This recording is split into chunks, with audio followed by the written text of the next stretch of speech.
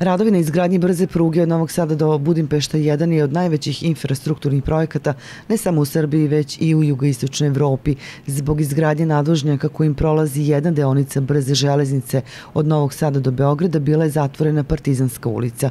Kineski izvođači završili su radove, a ovom ulicom su počela da se obraćaju vozila. Urađen je novi nadvožnjak, morao je da ispunjava uslove zbog voza kakav će se saobraćati železnicom i ono što je takođe važno, novosađeni znaju da ovde posle malo jače kiše ispod nadvožnjaka bile su, zadržavala se atmosferska voda, to je izvođač radova sada doveo do perfekcije i nećemo imati više problema da sa pumpama rešamo te probleme koje smo morali da rešavamo u prošlosti koja je iza nas. Odvijenjem saobraćaja brzom prugom ubrzaće se i pasoška kontrola putnika, o čemu je ministar Vesić već razgovarao sa mađarskim ministrom transporta i građevinarstva. Naš brzi voz koji sada ide između Beograda i Novog Sada postaje međunarodni kada stigne do Subotice, jer će Mađari završiti svoj deo pruge i ići će do Budimpešte. To znači da radimo na tome, zato je potrebna procedura koja će trajati sigurno duže od godinu dana, zato sada počinjemo da radimo na njoj,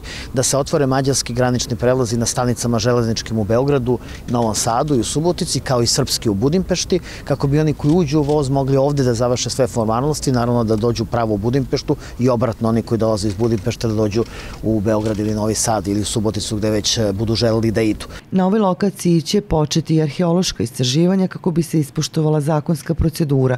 Ministar Vesić je u Novom Sadu najavio početak gradnje i brze saobraćajnice od Novog Sada preko Zrenjanina do Beograda.